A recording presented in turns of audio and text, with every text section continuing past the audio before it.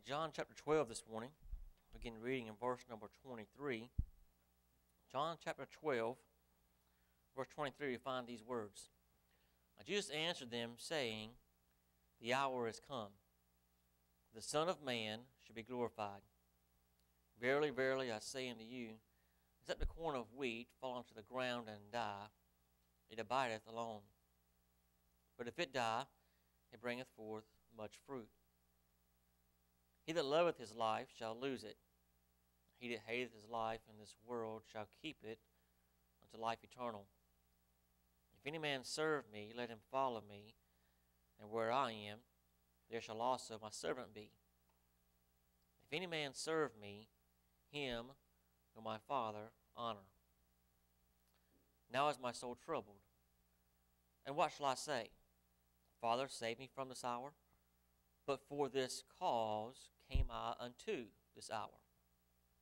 Father, glorify thy name. Then came there a voice from heaven saying, I have both glorified it and will glorify it again. Let's pray. Father, we come to this morning thanking you for your blessings. We thank you for who you are this morning. Lord, I pray this morning as we opened up the Word of God that, Lord, you would speak to us this morning in a very meaningful way. Lord, I pray that the Spirit would have freedom this morning. Lord, I pray this morning that, Lord, I would say the words you'd have me to speak, nothing more, nothing less. Lord, I pray that hearts will be responsive, Lord, that we would be obedient to the Spirit of God this morning. And may your name be honored and glorified in all that we do. In Jesus' name we ask it all. Amen. The past several weeks, of course, since the beginning of the new year, we've talked about the great adventure. Well, over the next two or three weeks, we're going to take a break from the great adventure and really focus on why we have the great adventure, if you will. In just a couple of Sundays, we'll be celebrating Easter. What I like to do is today, next week, and then Easter Sunday, focus on this part of the life, death, burial, resurrection of Christ. And um, I want to bring your attention to this passage of Scripture and bring your attention to a few thoughts this morning. What I want to do is, first of all, give you some, some background, some context, understand what's going on here, uh, and encourage you to read this on your own. I don't know if you realize this or not, but the, the majority of the book of John only covers just a few days. Um, starting with chapter about 13, from chapter 13 to the end, all that just deals with the Last Supper, the Passion Week, that's part of the Passion Week, and then his death, burial, resurrection, just a matter of a few days. So the majority of the book of, of John is devoted to the death, burial, and resurrection of Christ. As we're going to see, chapters 13, 14, 15, 16 all really take place in just a matter of hours. So this morning we're talking about the final hours, the final hours of the life of Christ. Now we know today he lives forever, but his final hours of life before he dies upon the cross for our sins. Now notice in your Bible the context. I'm going to give you a broader context this morning. Going back to chapter number 11, we have what we remember as the resurrection of Lazarus. Remember that? That's playing up to, it's playing into the death of Christ. If you go back and read parallel passages, you'll, you'll find that before he goes to raise Lazarus from the dead, Jesus is on the other side of the Jordan River. His disciples are very happy about that because on this side of the Jordan River, they want to kill him. So they're very happy to be on the other side. And then the word comes to Jesus saying that Lazarus is sick. Well, he stays there for a while. Three days, we know, remember? And then he finally says to the disciples, Well, let's go. Well, if you read the passage of Scripture, they're not happy about that. Number one is, you know, we don't want to go back there because that's that's the frying pan, man, that we're in trouble. You can't go over there. But then of all people, Thomas steps up and says, Boys, let's go. If we die with him, we die with him.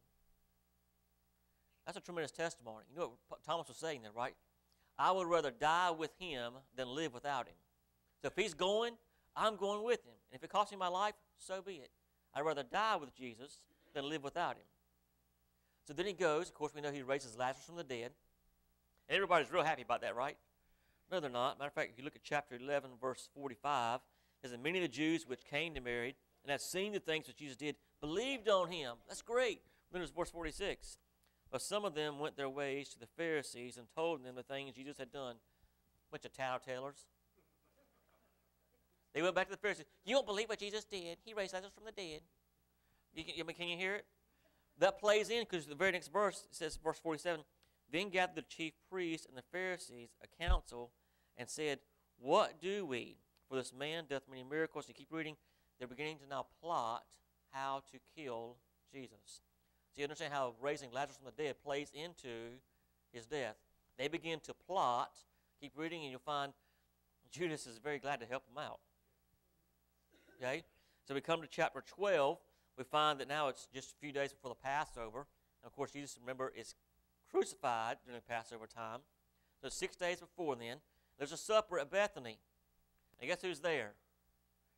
Lazarus. You think it drew a crowd? Yeah, he was the guest of honor. Everybody wanted to see Lazarus. The guy who was dead, now he's up walking around and he's going to eat. Yeah. And some other Pharisees are there too, because the Pharisees, they want to see it and they're not very happy about it. He should still be dead. Who, who gave him the authority to raise people from the dead? God. He is God. So, and notice we get to this, of course, in the second part of chapter 12. We have the triumphal entry. He marches into Jerusalem. They're praising him, singing Hosanna. And then we find the words that we read this morning. Now, I want to remind you how many, if you've read the gospel account, you know several times throughout Jesus' life, he says, Mine hour is not yet come. Mine hour is not yet come. Notice the words we read this morning. He says, The hour is come. He knows what's about to take place. He knows that the hour is come. The time of his death is drawing very near. And as this takes place, he says in verse number 27 Now is my soul troubled, and what shall I say? And of course, he, asked, he said, Do I say, Father, save me from this hour? No. This is the whole reason that I came. I came for this very hour. I came to die for the sins of mankind. Now, I want you to think for a moment what if you knew your time was coming? Now, Jesus here, he's in perfect health, right? He's, he's not on his deathbed, we're not dealing with anything like that, but he knows his time is coming.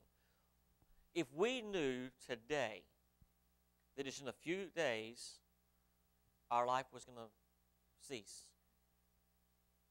we're not going to get sick, we're not going to, but we know in a few days God's going to call us home. If you knew that, what would you do? Let's just say between now and Thursday. You knew Thursday was the day.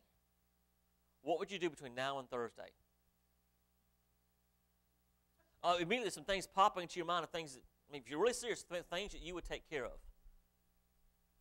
Things that maybe you've put off for a while. You know, you, you've been thinking about getting your will fixed and you hadn't done that yet. Well, that'd be a priority, wouldn't it?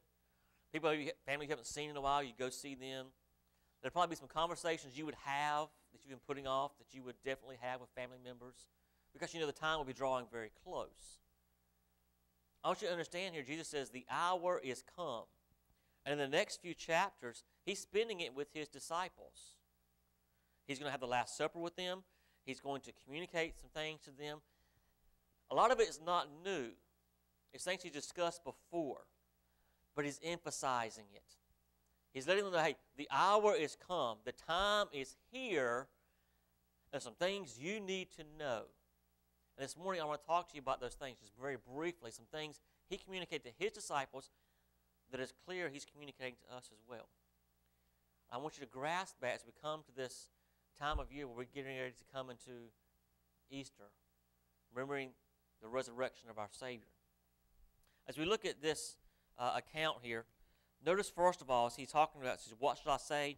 That the Father saved me from this hour? No, that's not the case. For this hour came out to this, for this cause came out to this hour. Notice he says, keep reading. First thing I want you to notice is that as he communicates to his disciples, starting in verse number 31, he communicates to them his purpose. He reminds them of his purpose. Look at verse 31. And I, if I be lifted up from the earth, will draw all men unto me. This he said, signifying what death he should die. The people answered, We have heard out of the law that Christ abideth forever, and what sayest thou? Son of Man must be lifted up. Who is the Son of Man? Well, who is the Son of Man? He's speaking of himself. So notice here, he speaks of the purpose of his death. Notice he says, If I be lifted up, I will draw all men to me. Go back to verse 31. I, I skipped verse 31. It says, Now is the judgment of this world.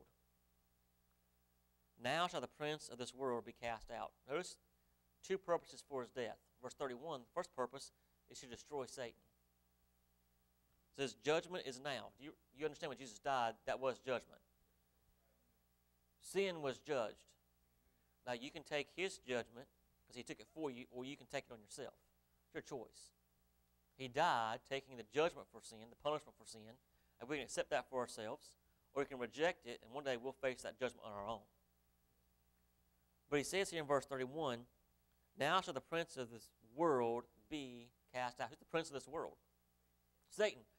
His death destroyed Satan. Now it's yet to happen. We understand that. But this is fulfilled from back in Genesis chapter 3, verse 15, where it was told to us that from the seed of the woman, that seed would bruise the head of Satan. When Jesus died on the cross, that was the death blow to Satan.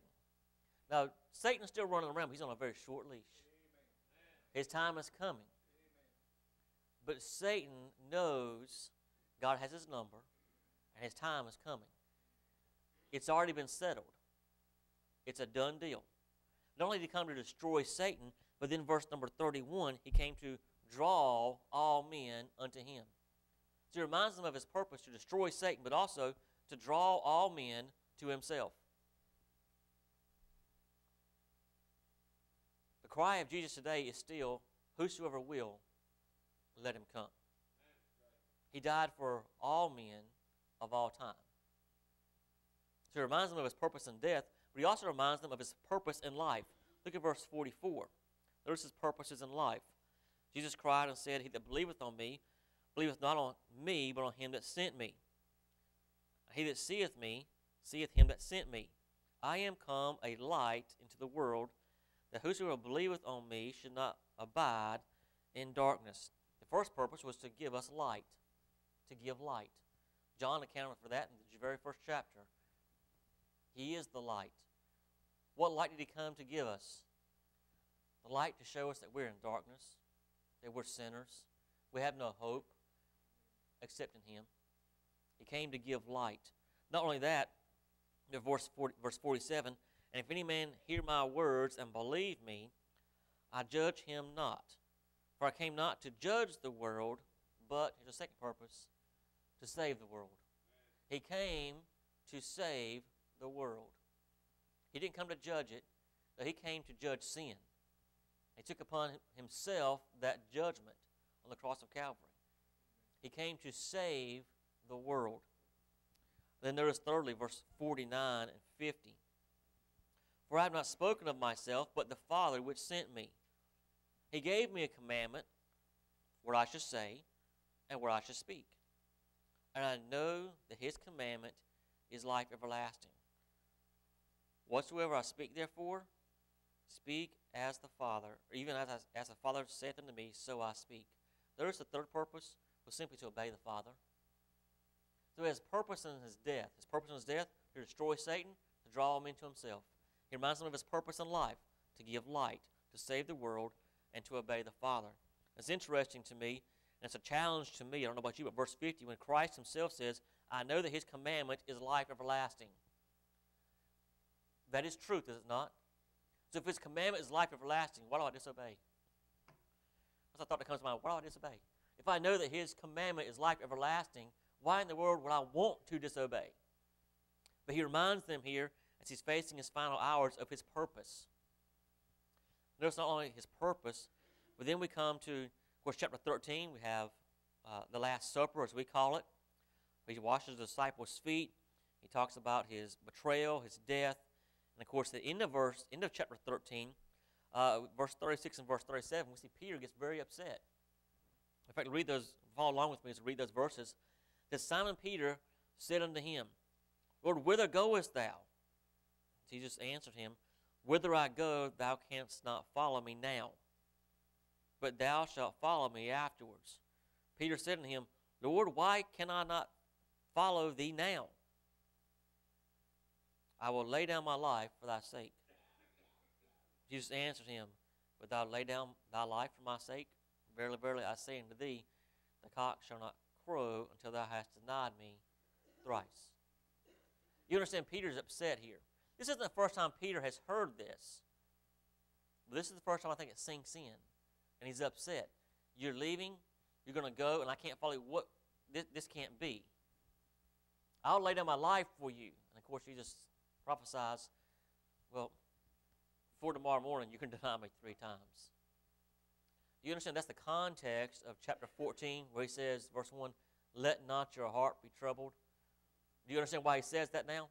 Because Peter, the leader of the group, is upset. So Peter, he says, listen, don't worry about it. Don't be troubled. You believe in God, believe also in me. Remember, see, I have a purpose. Yes, I, I came to this world in life to give light, to, to save the world, to obey the Father. And in my death, which is I'm telling you is going to come very soon, I'm coming to destroy Satan, to draw all men into me. I know you're worried about it. That's my purpose, but I want you to understand there's peace. So he gives his purpose, but he also gives peace. Let not your heart be troubled.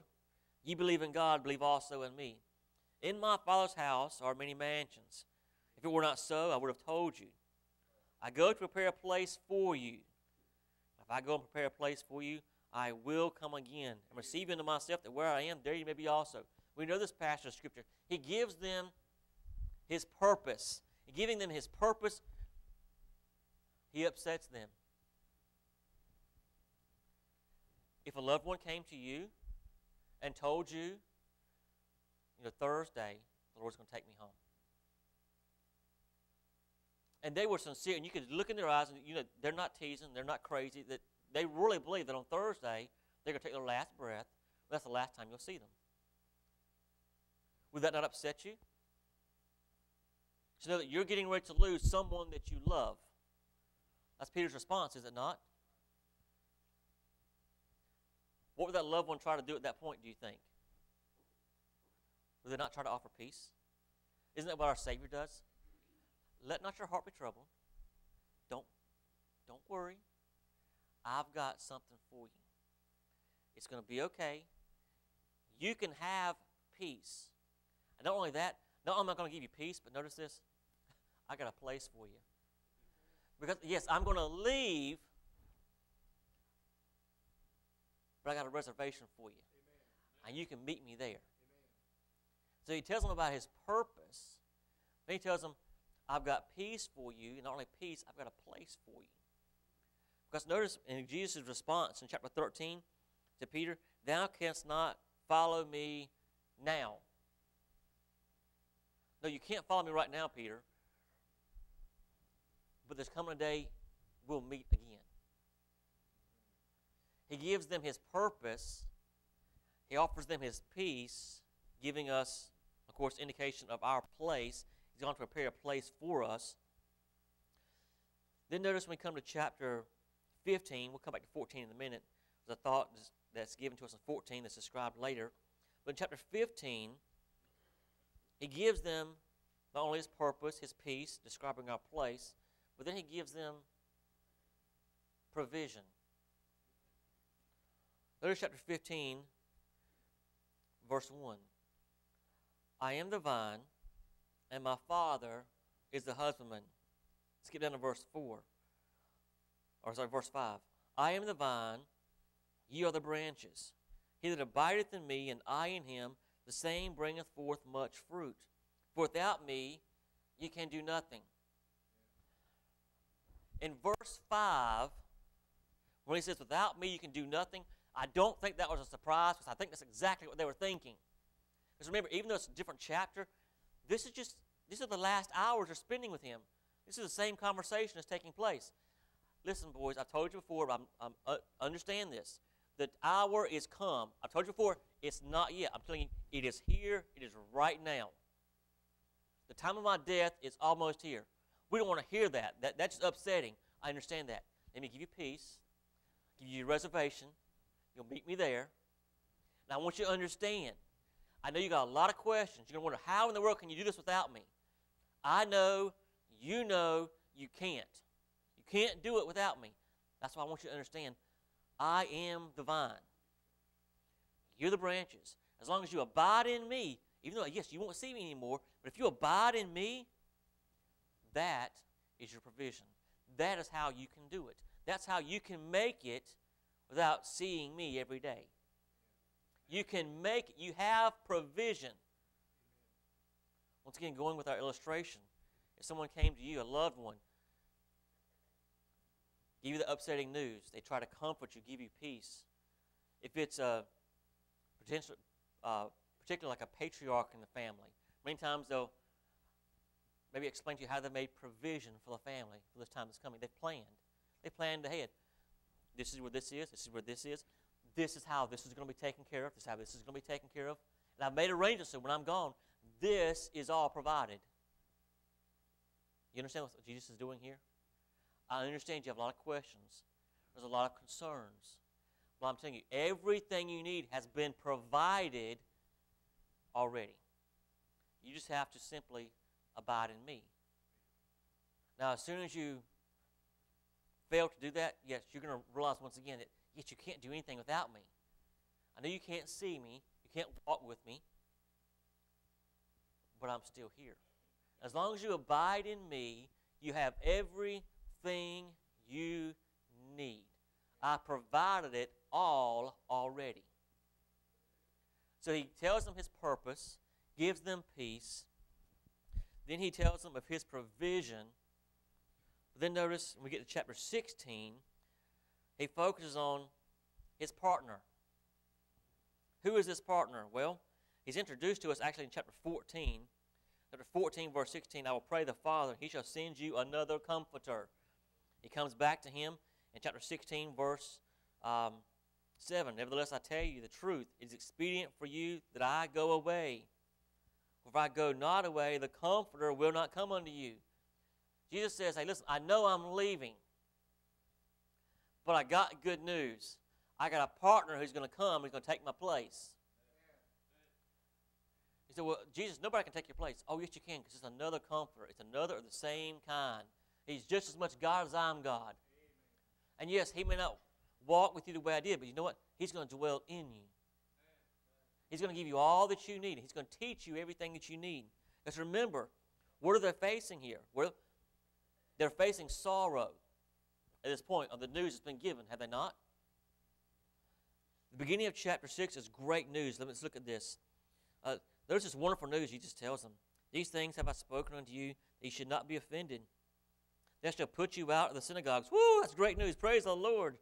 Yea, the time cometh that whereby uh, whosoever killeth you will think that he doeth God's service. Oh, that's great, Jesus. Isn't that wonderful? And these things they do unto you because they have not known the Father nor me. What's he telling us is coming in, in the first part of chapter 16? These aren't things we shout and praise the Lord for, is it? He tells them, hey, listen, I know you're upset about the bad news I gave you, but understand, you know, they hate me they're going to hate you too. They're going to put me to death. Guess what? Some of you, same thing. They're going to put you to death. But on the heels of this news, it gives them sorrow. The heels of this news, they're going to be persecuted. What does he tell them? It'll be okay. I've got someone, I've got a partner that's going to carry you through it the Holy Spirit. He's your comforter. He's going to come and dwell in you. He will never, ever leave you. So he tells them of his partner. He's the comforter in sorrow and in persecution. And then he continues in verse number 13 Howbeit, when he, the Spirit of truth, is come, he will guide you into all truth. He will teach you the truth. You have questions. I don't have enough time here to give you all the answers. But my partner, when he comes, he'll teach you all truth. So he gives them his purpose, his peace, his provision. Speaks of his partner, the Holy Spirit, coming to live within us. And then, probably one of my favorite chapters in Scripture, chapter 17, where it is truly the Lord's Prayer. Understand the setting here. Chapter 13 was the Last Supper. You realize chapter 13, 14, 15, 16, that's all taking place at the Lord's Supper, and then Satan or Judas is dismissed, remember? Then they leave themselves. These conversation, this conversation is taking place as they have left the Last Supper and they're on the way, they're walking to the Garden of Gethsemane. So several chapters here, but it's all taking place on this walk from the supper to the Garden of Gethsemane. On the way there, they have to pass by the temple. And in my mind, I'm, I'm thinking that it's not there in Scripture, it's just my sanctified imagination. I can imagine as he is walking through the streets of Jerusalem, he passes the temple and he sees the temple. And him being God of gods, the King of kings and Lord of lords, he is now our high priest, right? He is our high priest. Knowing all of this, chapter 17, he offers for us what is truly the Lord's Prayer and what is typically referred to as the high priestly prayer of Christ. This is him talking to his Father. And when he does, he talks to his Father about his disciples, those 12 that are with him, actually the 11 now that are with him because Judas has left. But he also is talking about us. I encourage you to read the chapter because he mentions us. And he offers this prayer for us. I don't have time to read it all this morning. I'm going to read just portions of it as he offers this prayer. He points out some things that he prays for you and for me. Verse number 11. Now remember, this is his final hours. And what is he thinking of? Not himself, but the 11 that are with him, and specifically in chapter 17, us that are sitting here today. In verse 11, he says, And now I am no more in the world. He's speaking to the Father. But these are in the world, and I am come to thee. Holy Father, keep through thine own name those whom thou hast given me, that they may be one as we are. There's the middle of that verse. Keep them through, or keep them, keep through thine own name those whom thou hast given me. Notice he prays that we are kept. He prays for our security. I praise God I'm secure this morning. There's no doubts about where I'm going to spend eternity. I am kept by the power of God. He prays here in this prayer, he prays for our security. Skip down to verse number 15. I pray not that thou shouldest take them out of the world, but that thou shouldest keep them from the evil. You know what he prays for in verse 15? He says, I'm, he's already said, I'm leaving this world. I'm not praying that you'll take them out. They're here, they're going to stay. But I'm praying that as they're here, give them victory. Give them victory. He knows what you and I struggle with every day. He says, These are in the world, they're going to stay in the world. I'm praying that you'll give them victory. Keep them from the evil. He prays for our victory. Then notice in verse 17, he says, Sanctify them through thy word. Thy word is truth.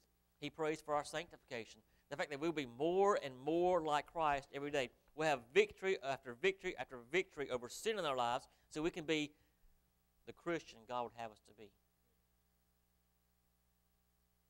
He prays for our sanctification. Then in verse 21, verse 21, that they may be one, as thou, Father, art in me, and I in thee, that they may also be one in us, that the world may believe that thou hast sent me. He prays for security, for victory, for our sanctification. And then in verse 21, he prays for our unity. That they may be one. What do you mean by that, Jesus? I want you to be one just like the Father and I are one. That's a pretty high standard.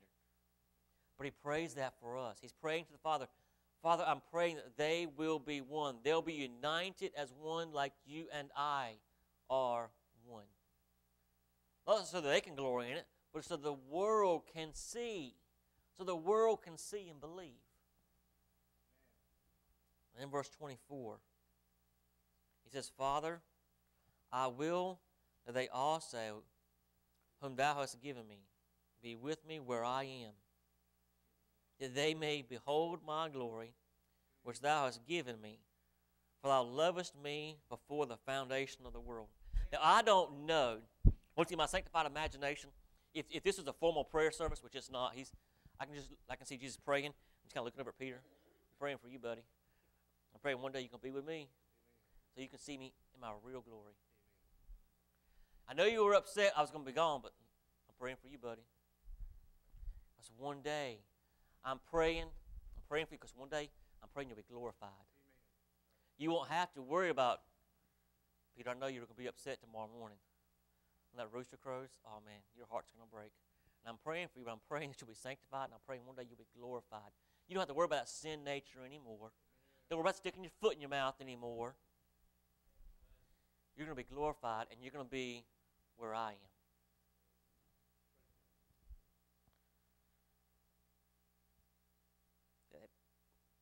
Be with me where I am, that they may behold my glory. Peter, James, and John got a glimpse on the Mount of Transfiguration, didn't they? I wonder what Peter thinks today as he sees Jesus in his true glory. Now, he prays for us here that we'll be glorified one day. See him in his true glory. As we think this morning about the final hours of Jesus, and we can relate this morning as hopefully we, we have been able to do with our illustration of someone coming to us and letting them know that their time is coming, how they would try to provide a peace, how they've made preparations for us and made provision for us, and maybe even in their strength would even pray for us, knowing that as they're saved, they're going to a better place. They're not worried about it. But but you, you're stuck here. You still have to deal with life. Isn't that what Jesus does here? Do we see the heart of God here? How much He loves us? My question this morning is this. Maybe it's your question. Preacher, why'd you say all that? Oh, it's, it's. I understand. It's great. I mean, I, I see that, but well, really, I think it goes back to chapter 12, our opening text.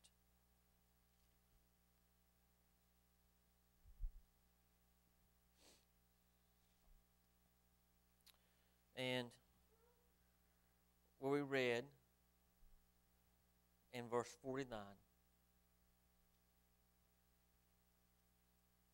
For the Father which sent me, he gave me a commandment that I should say and what I should speak.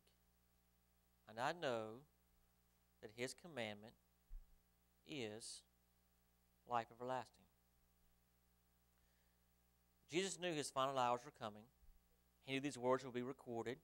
He recorded it for us today so we could see more intimately, possibly, his heart, his love for us.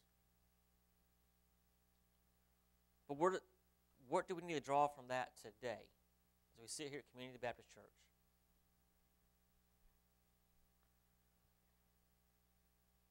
Do you understand? The heart of God breaks because God wants more for us than we want for ourselves. Have you ever been a good leader in a position of leadership, whether that's a parent or some other avenue of life. You know, many times the difficulties of life are summed up in that one statement. You want better for them than they want for themselves. Now, it's not a matter of living your life through them. I, that's wrong. They have their own life. They need to live their own life. But as parents, myself today as a pastor, many of you in other positions of leadership, we see the potential in people. And we know what they can do. And we try to prepare them for what they can accomplish. And knowing how God can work in them. And we see, we can see what God would do if they would just let Him. We find ourselves heartbroken because we want more for them than they want for themselves. They're content to live what we look at as miserable. They're content to live here. You're thinking, but why? You could have this. If you just would let God do it. You understand what God has planned for us? You understand that His commandment is life? Then why do we keep disappointing Him? Why are we content to live the way we're living? Why aren't we charging the mountains and getting a closer experience with God?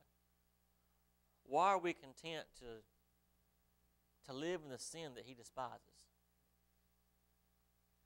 Why is it that in our minds, to serve God, we have to let everything else go? And there's so much to give up. Really? Is that what He tells us here?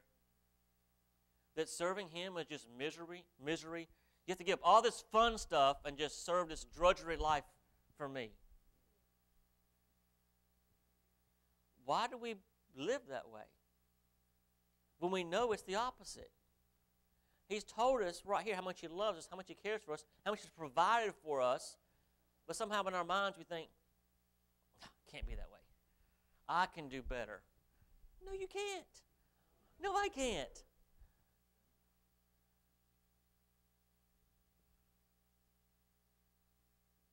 God wants so much more for us.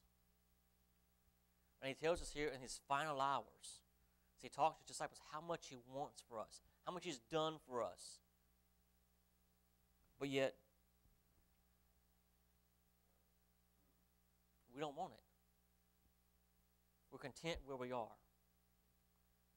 We think that, preacher, you just don't understand. The sin that I'm having is so much fun. It really is. It's so much fun. You just can't imagine how much fun. I'm having a blast right now. Yeah, wait till it catches up with you. And you know it. It's going to ruin your life, it's going to ruin your marriage. It's going to take your kids way down the wrong path because they see it. They may not know specifically what's going on, but they see it. They know something's there. And if it's not important enough for mom and dad, it's not important to me. God wants so much more for us. Why don't we just take Him at His word, lay everything else down, and say, God, you know, I'm going to trust you. I don't. I may not know how. Did Peter know how? Peter was upset. Lord, just don't worry. Don't be troubled. I've got it all taken care of. I can give you peace as I'm taking you to a place. You're going to meet me there. And I provided everything you need in the meanwhile. Just trust me. I've got it all laid out. If you just follow this, oh, you'll you just can't imagine what I have for you. Why can't we take that? I want to encourage you this morning. As Jesus took his final hours and spoke to his disciples and speaks to us this morning, whatever is in your life, whatever you haven't surrendered to Him and He's talking to you right now about it, don't put Him off. Just come up here and say, God, I'm going to do it. The sin that you're struggling with, realize it's not worth it. Oh, it's fun right now. The Bible tells us there's pleasure in sin for a season. You know what happens after that season? then you begin to reap what you sowed. That's not fun. Just take God at His word. Say, God, I know what I'm doing is wrong. I'll admit it's fun, but I know it's wrong. Help me to lay it down. Help me to forsake it because I understand it's wrong and leave it there. He wants more for us than we want for ourselves. It doesn't have to be that way. We can come to Him this morning. I trust that you will. Let's pray. Father, we come to you this morning thanking you once again for your precious word. Lord, you spent the final hours before your death communicating with your disciples and communicating with us through your word. Lord, I pray that we would understand the purpose of it all. Lord, I trust this morning that the Holy Spirit has had freedom, where the hearts have been challenged. Lord, I pray this morning that they will respond accordingly. Lord, I pray that you would have your way during this time of invitation. With heads bowed and eyes closed, this morning I just want to ask you a couple of questions. First of all, if you're sitting here this morning and you've heard the, these last words of Jesus in his final hours, and you realize and would admit today that, preacher, I, I don't know this morning that if I were to die, that I would that I would go to heaven. I just really don't know that. I'm not certain about it, and I and I'm concerned about it. Would you pray for me? If, if that's you this morning, if you're concerned about where you would spend eternity, you're not sure that heaven will be your home. Would you just raise your hand? Let me pray for you. I'm not going to call you out. I'm not going to come to you where you are or anything. I just want to pray for you this morning. Anyone like that this morning said, Preacher, I do not know, and I want you to pray for me. I want I want just pray for me. Anyone like that? This morning, Christian, heads bowed and eyes closed. How many will raise their hand this morning and say, Preacher, pray for me because I know some things I need to get right in my life, some things I need to give up. There's even maybe some sin I need to confess. Would you pray for me? Would you raise your hand this morning? Me put those hands down. In the moment we're going to sing, before we do, I just want you to simply bow your head. I want you to pray. Pray to the Lord that the Spirit of God would have freedom in your heart right now to reveal to you things that need to be revealed and that you would have the courage to deal with it this morning. Would you pray that prayer?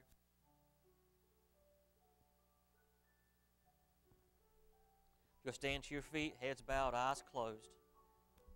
Miss Jane's going to play. He plays I Surrender All. Would you come this morning as she plays?